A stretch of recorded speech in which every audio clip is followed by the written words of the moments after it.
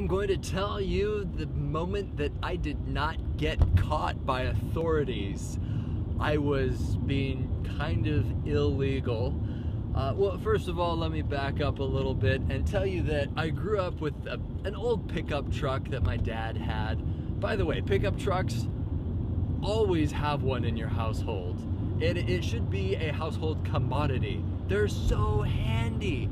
You just throw mud, muddy boots in the back, skis, and in this case, children.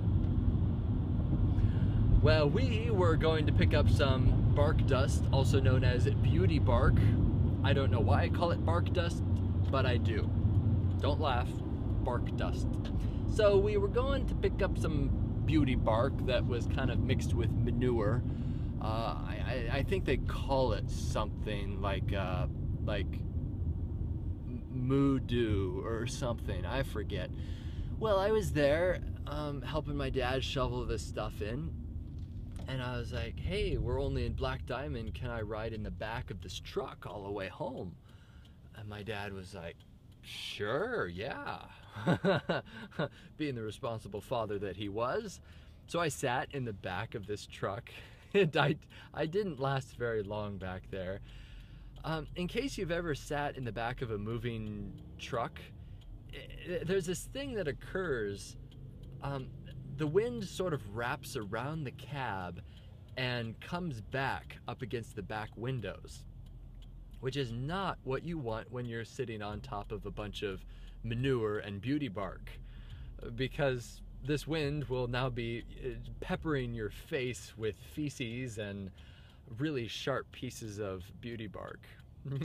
so I, will never forget my dad driving along the road at you know good 50 miles per hour, and uh, and I was just kidding, just slammed. Oh, it hurt so bad, and I was. I could just picture him looking in the rearview mirror at his son, who just had this silent scream pounding on the window.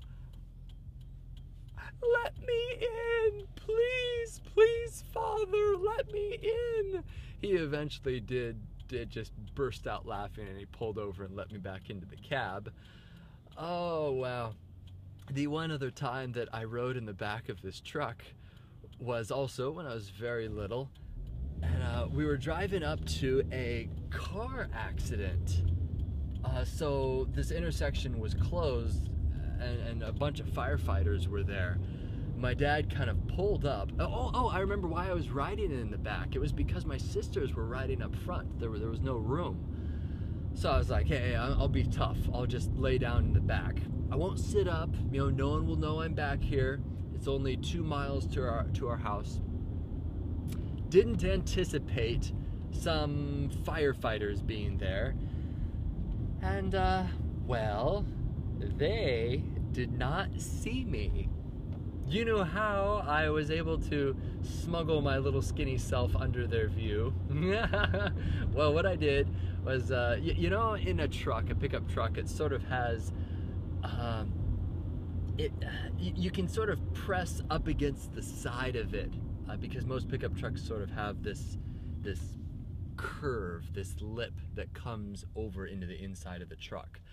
Uh, so I, I just remember pressing myself up against the side of this pickup truck with this bead of sweat coming down, just thinking to myself, I'm gonna get caught, I'm gonna get caught, I'm gonna get caught.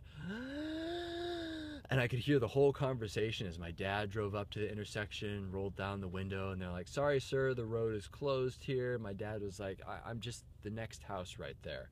Will you let me go far enough to get to my house? And they did, of course.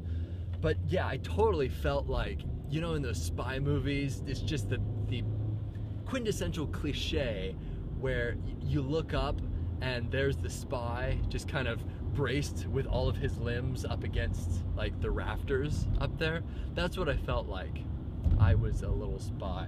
So that, ladies and gentlemen, was the only time in my life that I was doing something borderline illegal that probably wasn't that bad, but I didn't get caught by authorities a miracle.